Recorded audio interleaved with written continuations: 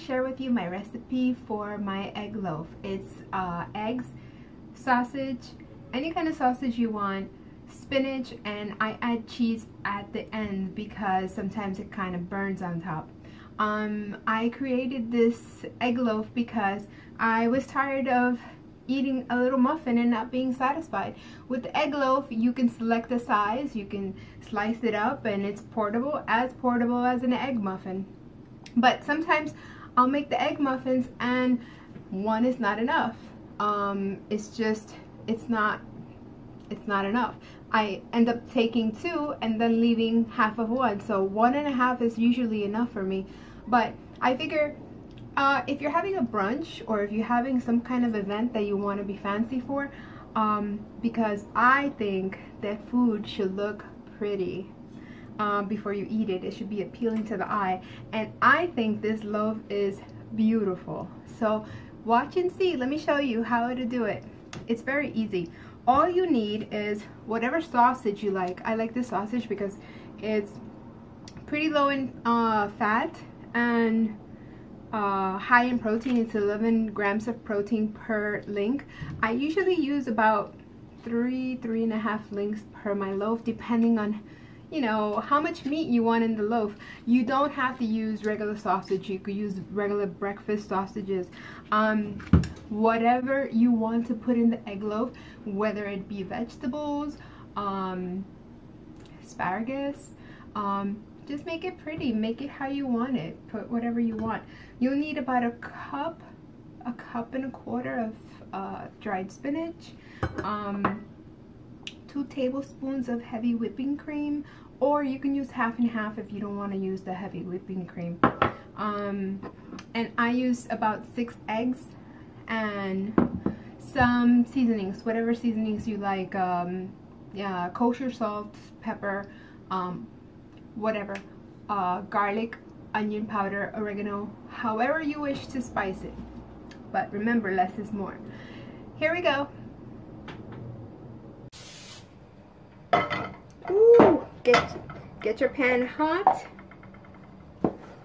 Cut up your sausages into quarter pieces.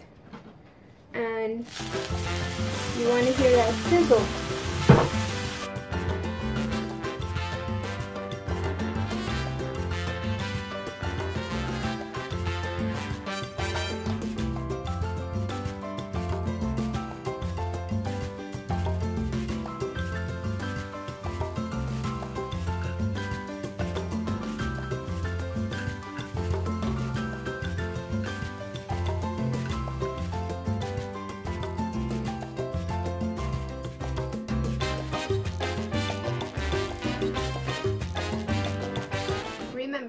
You don't want to overcook your sausages because they'll become tough and when you cut into your loaf, everything is going to be moist and tender and your sausages are going to be kind of dry. So you just want to partially cook them. Let's get to the next step, the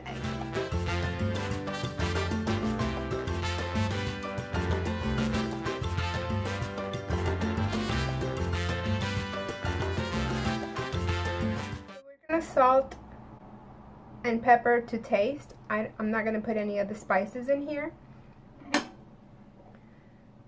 Put your two tablespoons of heavy whipping cream.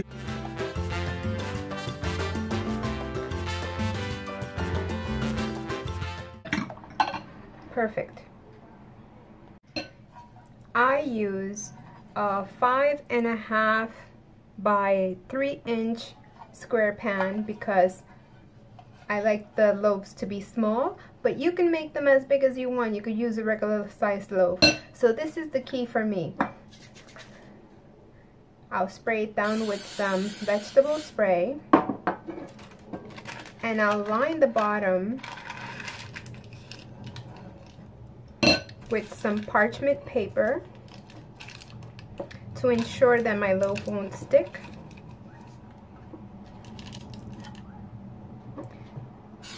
And then spray it again. Make sure you got the corners tucked in, otherwise the egg will run out by the edges. See, perfect. Line the bottom with some sausage and you're going to start the building blocks.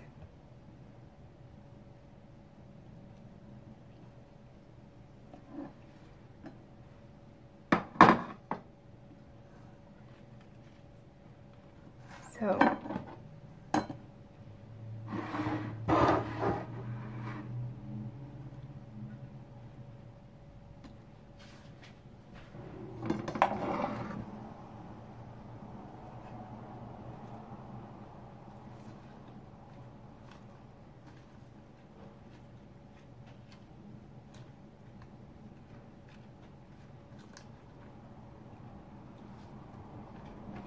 okay.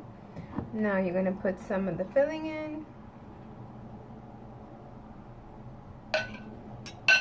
And again you're going to line it up. As much meat as you like.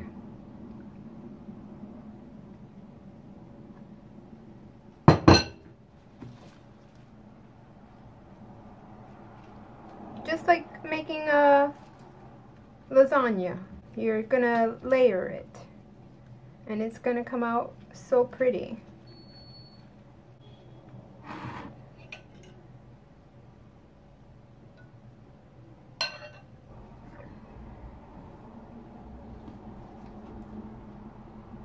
And don't worry about a little bit of overflow because uh, once it's baking it's gonna kind of poof up a little bit and then it's gonna deflate a bit. So just make sure that you line a baking sheet with parchment paper to ensure that the drippings don't dirty your oven.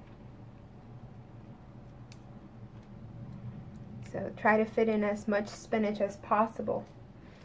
That's gonna come through in the decor of the uh, loaf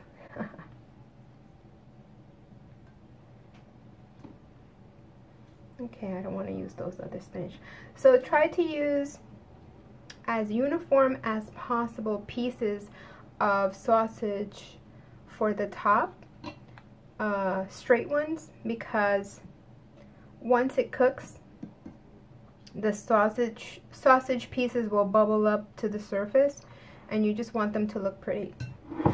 Alright so you're going to pour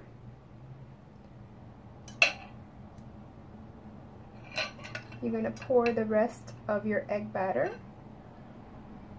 Make sure that it's going down and that all the crevices are full. Okay, I think that's enough.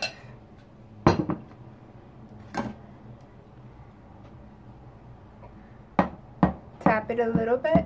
You don't want any bubbles down there. So preheat your oven to 350 degrees and you're gonna cook this for 25 to 30 minutes. Just keep watching it, every oven is different. So this egg loaf took a little more than 30 minutes to cook, about 35. Uh, however, I have left it in the oven, turned off the oven, left the door a little bit open with a wooden spoon so that the loaf can absorb heat and continue to cook in the center, but not burn. Hi, the loaf has finally cooled and I'm about to cut into it to show you how beautiful it looks. Um, let's see. So, like I said, the beauty of this is that you can select the size. It keeps in the fridge up to about a week or so. And I'm using a bread knife to cut into it. What else would you use for a loaf? Um, it is so pretty. Okay. And this, my friends, is the beauty of the egg loaf. The sausage, the spinach, it's a work of art on a plate. And you get about, uh, I would say about uh, eight servings. You can slice yourself a piece a day or two and sprinkle on some shredded cheese of your choice and enjoy.